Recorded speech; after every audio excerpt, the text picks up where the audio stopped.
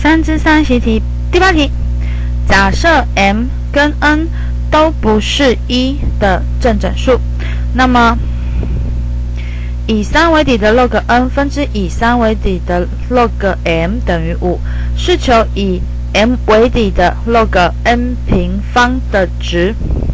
好，那题目给我们的条件就只有这一条嘛，那我们就只有从这里下手喽。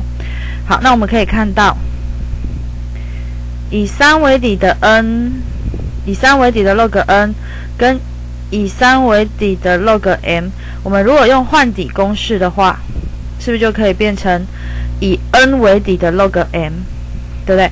可是你换这样子，跟题目要算的这个东西好像颠倒了耶，所以怎么办？那我们就给它颠倒啊，怕什么？对不对？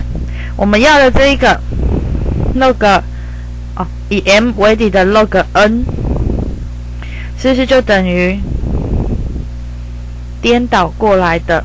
我们刚刚写的以 n 为底的 log m，因为你用换底公式就可以知道了嘛，它就只是分子分母互换。好，所以这一坨东西呢，我们就可以直接写了。来，这边还有一个平方，我们把它放上来。好，那平方怎么办？平方是真数的平方啊，所以真数的平方我们就把它往前搬。好好，所以中间呢，我再插一行字，把真数的平次方往前搬，所以是两倍的以 m 为底的 log n。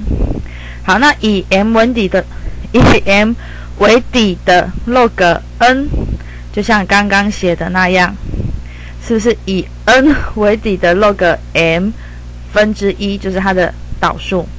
好，因为就是换底公式上下颠倒嘛。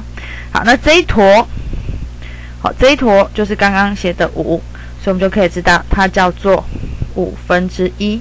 好啦，乘一乘，答案就跑出来啦，就是五分之二。